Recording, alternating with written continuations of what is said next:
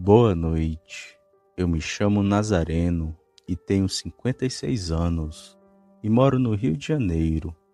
E sou uma pessoa cética quando o assunto é o sobrenatural, mas me aconteceu algo que me fez ter muito medo, sendo essa a minha primeira e única vez que vi algo sombrio, que aconteceu em uma de minhas viagens.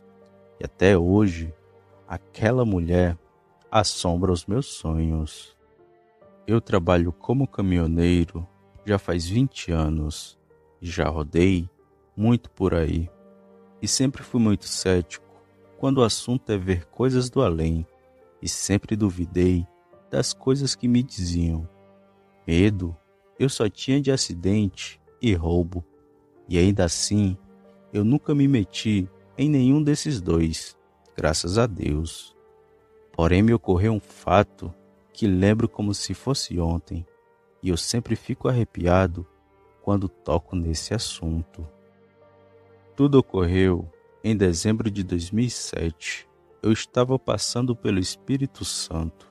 O local onde vi aquele fantasma eu não lembro ao certo, mas sei que eu ia deixar uma encomenda lá no Pernambuco. E em minhas viagens eu sempre fui muito seguro.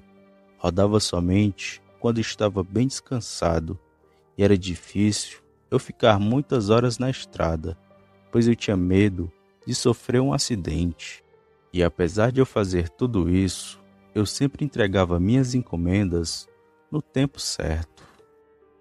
Como já disse, eu estava indo para Pernambuco e sempre indo com muito cuidado, parando sempre depois de seis horas na estrada e dormindo depois que eu fechava um ciclo de 18 horas rodando na pista. E por eu fazer desse jeito, eu nunca perdi a hora e estava sempre descansado. Tinha vez que eu dormia de noite e tinha vez que não. E isso que me ocorreu aconteceu na noite de lua cheia, onde eu estava na estrada. Lembro que nessa noite eu estava bem descansado e não tinha como aquela aparição ser uma alucinação, nem uma miragem na estrada, pois eu vi nitidamente aquela mulher. Era por volta das nove horas da noite, quando eu peguei a estrada, sendo que eu tinha dormido a tarde toda e um pedaço da noite. Eu estava bem acordado. Além do mais, tomei um café com Coca-Cola. Essa era a receita que eu sempre usava antes de sair, pois além de me deixar em alerta, não me deixava dormir. Pois bem, eu já devia estar há umas duas horas na estrada, e a área onde eu estava não tinha casa, não tinha civilização e não tinha nada por perto. Foi quando fui fazer uma curva na estrada que ela apareceu.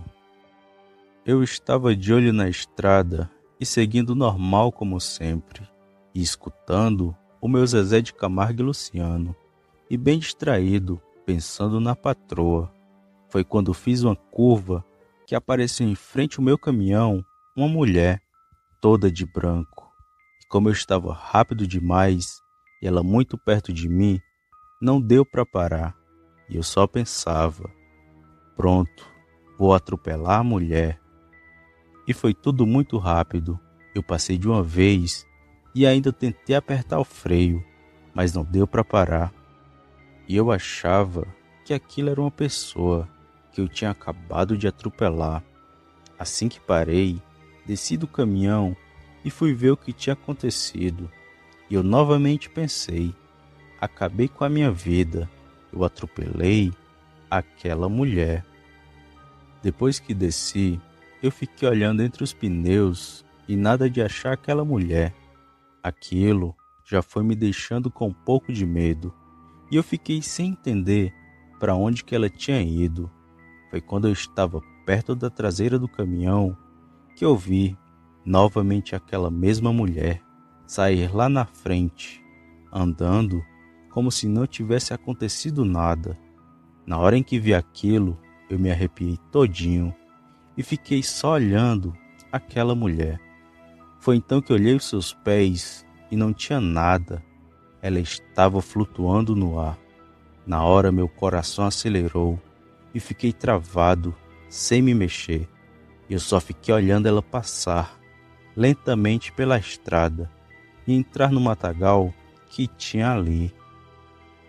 Fiquei travado de medo e tentava entender o que era aquilo.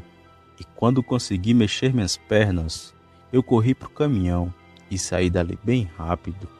Eu achava que ali seria o fim do meu pesadelo, só que ele estava apenas começando. Eu estava dentro da cabine e só pensando no que eu acabara de ver, me tremendo todinho por causa daquela assombração foi quando olhei no retrovisor do caminhão que vi aquela mesma mulher bem de trás de mim, sentada na minha cama. Comecei a sentir um frio em meu corpo que não era normal, e o tempo todo eu olhava para ela, mas não consegui ver a sua cara, somente aqueles seus cabelos longos e negros. Ele estava com aquela roupa branca e assustadora.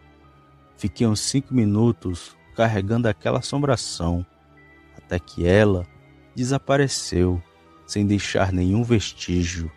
Comecei a rezar quando ela foi embora, e no primeiro posto que encontrei, eu parei para poder voltar ao meu normal, pois eu estava me tremendo muito.